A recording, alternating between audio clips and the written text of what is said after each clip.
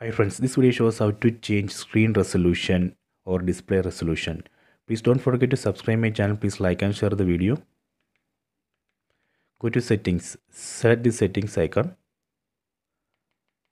Select device preferences.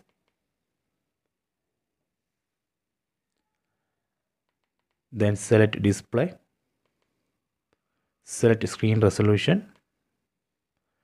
First we have to disable this option auto switch to recommended resolution. Disable it. Then we can set custom resolution. Select display mode. So here we can see all supported uh, supported resolutions. Uh, full HD, HD. It's not showing 4K or 8K because this device does not support 4K.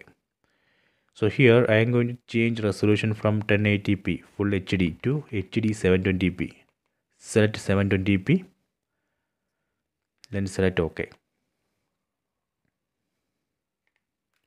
done. So this way we can change resolution. We can manually change screen resolution or display resolution. Okay so if you want to revert this change just enable this first option. It would automatically uh, find suitable resolution for the device and to that resolution. Let me try that. Enable it so the device says the best resolution is full hd set ok done. See? So this way we can change display resolution or uh, screen resolution. Please check it